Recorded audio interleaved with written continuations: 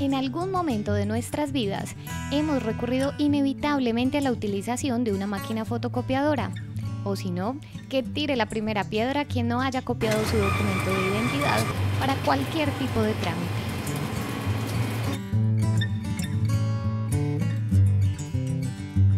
Habrá quienes hayan hecho la cuenta de cuántas copias han sacado en su vida, pero pocos alcanzan a imaginar lo revolucionario de la invención de las fotocopiadoras.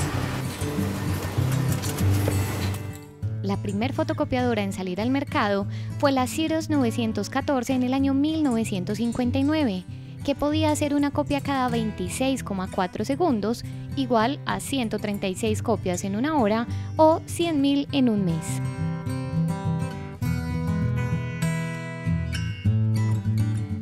Pero para que esto fuera posible, era necesario que existiera una tecnología de copiado en seco mediante luz y electricidad diferente a aquella que utilizaba químicos para la reproducción de imágenes.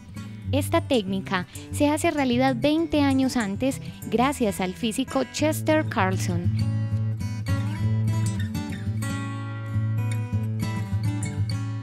quien trabajaba como oficial de patentes encargándose de copiar con papel calcante cada uno de los documentos. Además, estudiaba derecho por lo que tenía que copiar a mano todos los textos sobre leyes.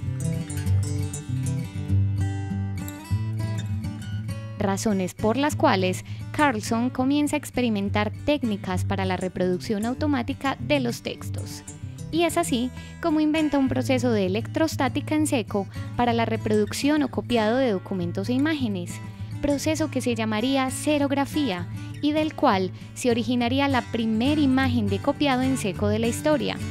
El 22 de octubre de 1938, en Astoria, en el barrio Queens, en Nueva York, comienza el nacimiento de la fotocopiadora.